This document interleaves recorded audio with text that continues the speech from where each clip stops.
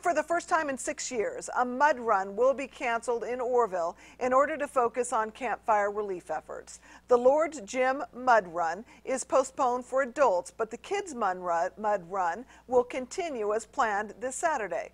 Volunteers from the gym say they do not have the time and resources to create the course for adults. The race is rescheduled for the spring of 2020.